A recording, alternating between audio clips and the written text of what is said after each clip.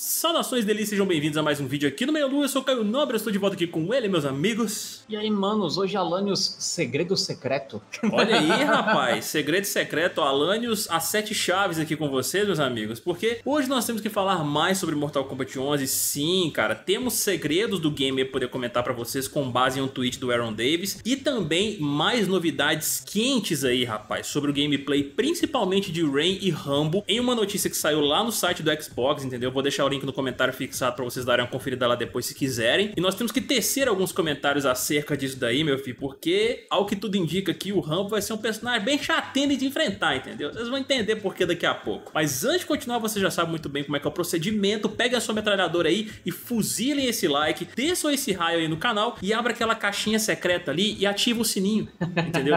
para não perder a notificação dos próximos vídeos, meus amigos. É uma regra do YouTube, se vocês não ativarem, vocês não recebem os nossos vídeos. Acesse o nosso site a nossa plataforma roxa de lives, onde estamos fazendo live lá todos os dias, e também os nossos grupos do Discord e do Telegram para ter um contato mais direto com a gente. Tá tudo aqui embaixo no comentário fixado, não deixem de conferir. Então vamos lá, meu querido Alanios, começando aqui a falar, cara, primeiramente desses gameplays aí, né, mais informações sobre os gameplays do Rambo e do Rain, que revelaram aí nessa notícia do site Xbox. Não comentaram nada, assim, acerca da Milena que a gente já não saiba, então por isso que a gente não tá citando ela aqui. Principalmente o Rambo foi um personagem que foi bastante citado, né, Alanios? Eu te passo a palavra para você começar falando sobre isso daí, cara. Bom, ao que parece, fizeram, na verdade, foi uma matéria, né, da Xbox ali, foram comentários do Tyler Lansdowne, né, o cara que é responsável ali pela comunidade do Mortal. Sim. E ele falou uma parada que é bem interessante, que é o seguinte, o Rambo, ele vai ter um gameplay onde ele vai ser muito forte no mano a mano, ele vai ter pra distância, né, a possibilidade de usar, por exemplo, o arco e flecha dele, e ele também vai ter armadilha, cara. Fora a habilidade que ele vai ter também de dar um, de, de, agarrão e tudo mais, pelo que foi comentado ali. Então, o que me pareceu é que ele vai ser um predador naquela versão Hunter, né, que a gente viu, só que pouco tunado, manja? É, exatamente, cara. Então, ele comenta mesmo que a faquinha dele, como a gente já viu numa imagem que já apareceu aí na internet, né, que o pessoal do Mortal Kombat liberou, vai ser muito utilizada para o combate corpo a corpo. O arco e flecha, como o Alanis acabou de comentar, para ataques à distância. Uma coisa que ele não comenta que eu achei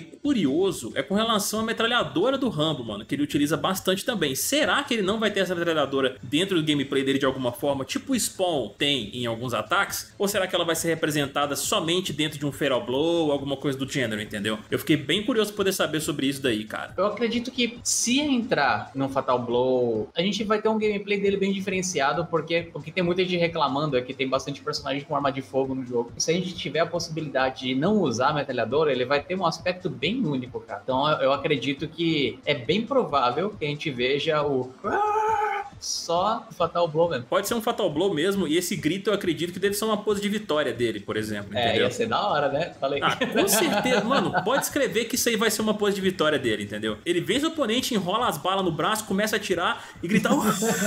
aí mostra o menu lá, entendeu? Próximo oponente e tal. Eles soltaram uma imagem dele gritando com a metralhadora pra cima, que me parecia mesmo uma pose de vitória. Vamos esperar pra ver, mas deve ser, mano. Deve ser, não tem como. E eles falaram que o Rambo também ele vai ser bom em agarrões, olha só, mais um personagem poder agarrar a gente, command grabs ali quentes e perigosos para poder encher a paciência durante as lutas, entendeu? Vamos ver, vamos esperar uns gameplays pra poder ver como é que isso vai funcionar e como é que ele vai aplicar isso dali. Command grab médio, pelo amor de Deus, não. E também, cara, esse uso das armadilhas, que nem o Alanis comentou aí, de ser bem parecido com o Predador, eu tô muito interessado em saber como é que vai funcionar, né? No trailer do Combat Pack mesmo, o Tyler Lansdowne ter mencionado isso daqui, já lembrou o uso da rede, entendeu? Que aparece lá no Combat Pack, que ele sobe o Tarkatânio morto ali e a Milena consegue se desviar e tudo, deve ser algumas das armadilhas que ele vai ter durante o combate ali. Eu não acredito que seja só aquilo, mas vai ser uma coisa que vai incrementar bastante ali no gameplay do cara, principalmente uma variação que tiver setup, mano, que eu acredito que o Rambo vai ter. Meu amigo, o bicho vai ser perigoso. Mas não para por aí, porque eles também mencionam um pouco mais aqui acerca do gameplay do Rain. Foi basicamente um incremento mesmo assim, de uma coisa que ele vai fazer que a gente já imaginava, mas não da forma como eles falam aqui no texto, porque eles disseram que o Rain vai ter basicamente todos os golpes especiais que ele tem no Mortal Kombat trilogy ali que a gente já tá acostumado, entendeu? Raio, aquela bola de água e tudo mais. Só que o Tyler Lansdowne, ele comenta também que o Rain, cara, ele vai ter a habilidade de se transformar em água para poder evitar ataques. Olha Sim. só, meus amigos. A gente imaginou um teleporte para ele no vídeo com todos os poderes do Rain, mas a gente não chegou a pensar nessa questão de ele se transformar em água poder evitar um projétil ou um ataque normal mesmo. Quanto tempo ele vai ficar transformado em água para poder fazer isso? E o Tyler ainda ah. comenta aqui, cara, sobre o que a gente mencionou em um vídeo passado, né, dele abrir as fendas dimensionais aqui para um reino de água, alguma coisa do tipo ali. Mas não para por aí, galera. A gente ainda tem que comentar com vocês aqui sobre um tweet do Aaron Davis, entendeu? Que ele falou sobre um segredo que o Mortal Kombat ainda tem. Eu vou até trocar minha perspectiva de tela aqui para que vocês possam ver. E cá estamos com um tweet, Alanis. O cara diz o seguinte aqui, ó. Pra quem gosta de coisas escondidas em Mortal Kombat, há algo no MK11 que coloquei e ainda não foi encontrado pelo que eu posso dizer. A única dica que vou dar é que é feito dentro de uma partida e está lá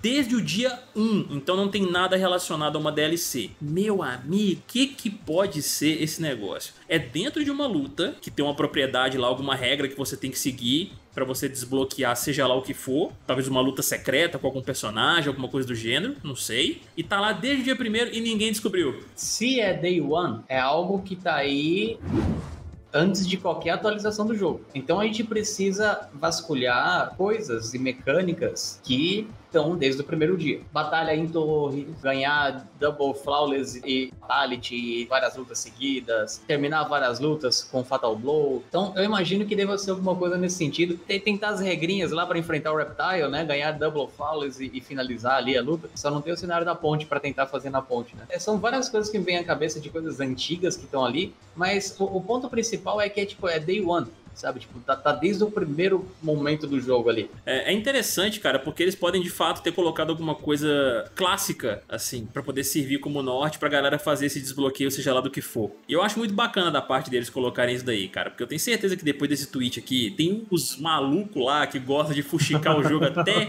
não poder mais, entendeu? Correndo atrás desse negócio para poder descobrir. E óbvio que a gente vai ficar de olho nisso aí. E eu queria agradecer também, Alan, aproveitar aqui, a essa galera maravilhosa no Twitter, mano, que tá sempre marcando a gente aqui nas novidades. Esse tweet mesmo do Aaron Davis aqui, muita gente marcou a gente. Tem aqui, ó, o Jorge Luiz marcou a gente, o Fabiano Shark também. Com certeza teve mais pessoas, entendeu? É complicado falar todo mundo, porque são várias pessoas que marcam. Então eu já deixo um agradecimento aqui, a gente deixa um agradecimento para geral. Então uhum. sigam a gente também no Twitter, galera. Tá aqui embaixo aqui, sempre aparecendo para vocês, ó, o meu Insta e o Insta do Alanis ali do outro lado. E vai alternando com o nosso Twitter também, porque lá sempre acontecem as coisas rapidamente, em tempo real assim, a galera já marca, a gente pega como informação e a gente costuma até citar quem nos trouxe essa informação aí, entendeu? Quem marcou a gente, a gente não chegou a ver. Então, obrigado de coração. E a gente vai ficando por aqui, Alanios. Já cobrimos tudo que tinha que comentar aqui nesse vídeo de hoje com relação a essas informações quentes aí sobre gameplay de Rambo e Rain e esse tweet uhum. do Aaron Davis aqui sobre o segredo do MK11. E agora a gente quer saber de vocês aí, cara. Vocês curtiram essa questão do gameplay do Rain e do Rambo aí? E o que que vocês acham que é esse segredo, mano? O que vocês acham que precisamos fazer para poder desbloquear, seja lá o que for?